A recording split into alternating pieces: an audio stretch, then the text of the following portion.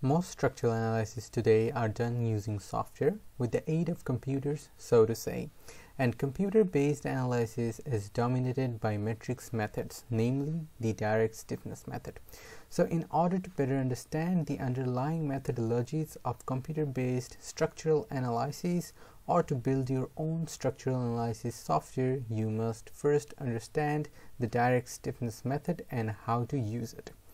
In this course, we will understand how the direct stiffness method works and do practice problems and example problems using hand calculations. We are going to do linear static analysis using the direct stiffness method. In this course, we will see the direct stiffness method for 2D trusses, 2D frames, and 3D trusses. This course is for civil engineers, engineering students, students and civil engineering professionals who have studied the direct stiffness method but got lost along the way.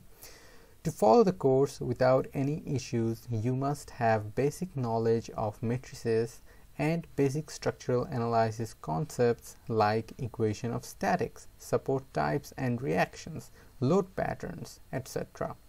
You can watch the free course introduction video and read the description of the course to make your decision of enrolling in this course.